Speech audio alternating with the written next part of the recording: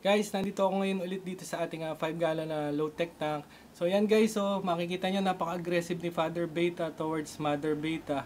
At napansin ko guys, ah, kasi nga nagpakain ako ngayon sa kanila ng bloodworms para at least makaregain sila ng strength from the mating kahapon. Yan guys, so nabugbog na si Mother Beta natin. Ako na stress na stress na siguro yan. Ngayon ko lang kasi siya nakitang ganyan na medyo punit na talaga yung uh, fins niya dun sa baba guys. Ayan no. Kaya kailangan natin siyang ilipat uh, sa ibang tank. So meron naman tayong 5 gallon na low tech uh, 5 gallon tank pa na spare dito na yun nga ginagawa nating quarantine ng ating uh, halaman. So yan na naman guys, lalapitan na naman. Ayan na, ayan, ako po. Tago muna, tago, tago. So guys, tapusin ko muna yan. So tinulungan lang ako ng tatay ko para mal at least dito ko lagay guys ha, kasi uh, nilibel na to ng tatay ko. At uh, gawin ko na muna guys. I'm back guys. Medyo nagtago ngayon si Mother Beta natin. Dahil nga si Father Beta napaka-aggressive. Uh, inaantay ko lang siyang umangat guys. Uh, huhulihin ko na siya ngayon. At maita-transfer na natin siya dito sa ating 5 uh, gallon na low-tech tank ulit dito sa gilid lang. Tinanggal ko na muna yung mga halaman natin. Nilagay ko muna sila doon sa gilid. At uh, harapan ko lang sila ng pwesto. Uh, unahin ko lang si Mother Beta guys. Baka kasi mabugbog uh, baka isang araw makita na lang natin pag pinabayaan natin siya dyan. Na yun know, nga kawawang kawawa na. So uh, antayin ko lang makaangat si Mother Beta then hulihin ko then pakita ko sa inyo na nandito na siya dito sa bagong uh, kanyang tank. Ito na ngayon guys na i-transfer na natin si Mother Beta dito sa ating bagong setup na 5 gallon super low tech tank pa rin. Yung nagtago siya dun sa sponge filter. Guys yan yung sponge filter na galing lang doon sa ating 603B canister filter na ginamit nga natin uh, uh, para maipasa natin beneficial bacteria going to our uh, 15 gallon super low tech tank din yung uh, pinaglalagyan ng ating mga danyo fish dito. So ito yon guys so Then, uh, etong ginawa ko lang dito guys, nag-condition lang ako ng tubig. So, gumamit lang ulit ako ng AquaCare para at least matanggal natin yung chlorine, chloramines, at kung ano man yung harmful elements na meron tayo sa tap water natin na hindi magiging beneficial dun sa fish natin. So, yan guys. And then, uh, naglagay din ako ng tanin dito guys. Nagpakulo ako ng bayabas uh, na, na leaves, na dried. And sinamahan ko lang din ng uh, konting uh, fresh leaves para at least makatulong dun sa buntot ni Mother Beta. So, ang ganda-ganda ni Mother Beta. Ayan, dahil sa carelessness ko, guys. Kasi in-advise na ako ng uh, kaibigan ko na after talaga mag-mating uh, nila, si Father Beta magta-transform talaga to incredible something. Yan. Na yun nga, makakawawa si Mother Beta. Hindi naman lalaban si Mother Beta sa kanya. So, yan, napunitan tuloy ng buntot.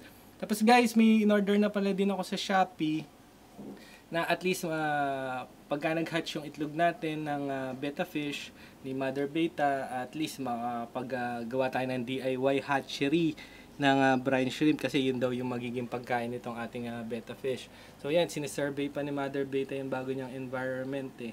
So medyo uh, uh, halos pareho lang naman siguro yung temperature ng tubig natin kasi medyo mainit-init pa ng konti yung uh, uh, bayabas extract na nilagay ko medyo naging warm yung water din natin dito hindi direct from tap water na kinondisyon nga natin para at least ma- hindi, malamig siya para ma-shock siya dun sa init ng tubig ah, sa lamig ng tubig kasi yung uh, mga tangka natin dito nahihit natin ng uh, direct sunlight to kaya medyo warm talaga yung tubig natin dito yan. Tapos naglagay lang din ako ng water sprite guys. Ayan oh, makita nyo. Kinuha ko lang yan dito sa ating uh, 15 gallon super low tech tank. Kasi sobrang bilis talagang dumami niyan guys. Kung uh, nagbabago pa lang kayo din, katulad namin, beginner lang din kami sa pag-aalaga ng halaman dito sa tank. Yung water sprite guys, uh, magandang beginner plant yan. Hindi kayo madidisappoint kasi ang daling buhay, ang daling paramihin. Kasi ako, nag-try agad ako ng mga medyo may presyo-presyo ng halaman guys. Eh, yung mga Anubias, eh, beginner pa lang tayo yun nga naka-experience nga tayo ng rating before.